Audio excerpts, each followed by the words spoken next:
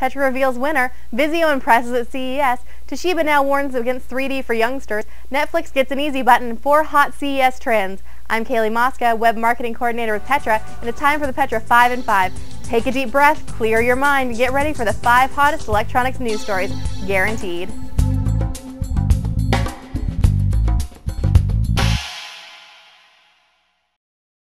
Petra is ecstatic to announce the winner of our 25th anniversary $25,000 sweepstakes. Congratulations to Juan Vallejo, owner of Integrated Control in Miami, Florida, who flew to CES to take home the big money. Juan has been a Petra customer since 2007, and when he found out that he won, he said, quote, When I started my business, Petra was the first company that gave me an opportunity to introduce myself to the consumer electronics market, and I will never forget that. Their attention to customer service has always been outstanding, and I feel like I'm visiting with friends every time I work with them. Thank you again for a great surprise. End quote. Thank you, Juan. It's our pleasure, and we hope that you had a great time at the show. Now, with so many super cool products being unveiled at CES, it's nearly impossible to pick out just one to talk about, but Vizio had such a strong week at CES that we have to give them a shout out. To begin with, they announced that they are launching a series of Google TV TVs falling under the VIA, an acronym for Vizio Internet Apps Plus umbrella, which will come in two screen sizes, a 47-inch and a 55-inch. VIA Plus adds Google TV to Vizio's suite of already existing Internet apps, and the TVs will come with a touchpad-equipped QWERTY remote control. That is, if you wouldn't rather use your phone or tablet to control the TV. Oh, what's that? Didn't you hear? That's right. Vizio also announced that they will be releasing a tablet and a smartphone, both running on Android with the Vizio Skin, the idea being that they will have interoperability. You know, the phone working with the tablet working with the TV. Both the tablet and the phone have an IR blaster built in, so that they function as a universal remote for the TV. Pretty cool, right? And I know plenty of people that like to have sets of things, so this is a genius strategy on the part of Vizio. Well played.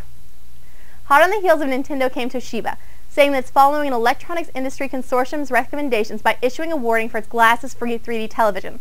Now, this is actually similar to a warning that Toshiba issued a few months ago about possible side effects that could occur within children 6 and under when viewing 3D images, but this is the first time they've discussed the possible impacts of 3D since Nintendo amped up the fear factor with their statement. In a press release for the 56-inch and 65-inch glasses-free TVs that they were demonstrating at CES last week, Toshiba said, quote, Due to the possibility of impact on vision development, viewers of 3D video images should be aged 6 or older. Now, according to Yuji Motomura, chief specialist in Toshiba's TV marketing department, Toshiba is adhering to an industry group's recommendations for 3D technology, which says that there is no difference in 3D viewing whether you're using glasses or not. So I guess that answers my question from last week's 5 and 5 about 3D gaming versus movie versus Toy Story 3D versus Piranhas in 3D. Man, it's rough being a kid. You have to be this tall to ride the roller coaster, and now you have to be at least 6 to watch 3D. At least you get nap time and juice boxes. Beginning this spring, it will be easier than ever for viewers to access Netflix at the click of a button, as the company has recently reached an agreement with several of its CE industry partners to add a Netflix button to remote controls. Brands will add some version of the button include Sharp, Sony, Toshiba, Panasonic, and Samsung, with the remote operating internet-connected TVs, Blu-ray disc players, and other devices that connect the TVs to the internet. Said Netflix Chief Product Officer Neil Hunt, quote, for members who want even more convenience when instantly watching TV shows and movies streaming from Netflix, the answer is about to be right in their hands. No more turning on the TV, going to a home screen, and searching for the Netflix icon. With the Netflix one-click remote, it's simply a matter of pushing the Netflix button to instantly watch any of the vast selection of TV shows and movies available to stream from Netflix. End quote. Yes, this is infinitely more convenient. You know what would make it even easier? If you invented a tiny little gnome that would sit on my coffee table and push the Netflix button for me. Work on that next, please. Now that the International CES 2011 has come and gone, we have a sense of where this year is headed.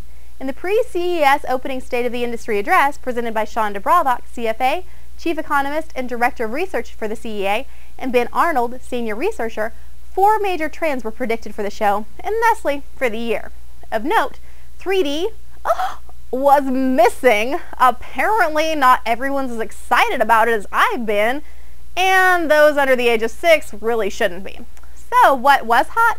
Well, portable and pocketable devices, those with a screen size of 5 to 15 inches, and as we touched on in last week's 5 and 5 and the CES clip, this includes tablets in a major way, with production doubling in 2011. So with all the tablets out there, What's the optimal price point? Between $300 and $400. The second hot trend was the intelligence of things, the connectivity and interconnectivity of devices, be it a digital camera with a GPS or a meat thermometer that can send information to a smartphone to tell when dinner is done. Thirdly, they discussed the next decade leveraging sensor technology in increasingly shrinking sizes. We see them in our everyday life, from tire pressure sensors to accelerometers.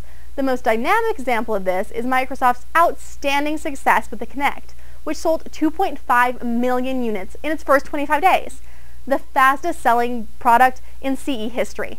Finally, they discussed appification. 55% of mobile owners use apps, and DuBravac told attendees to look for content apps they're an integral part of the solution. Do you agree with the state of the industry address? Post your thoughts on our Facebook wall at facebook.com slash petra.industries. That's your Petra 5 and 5. Have a great week and we'll catch up with you next time for more hot industry news.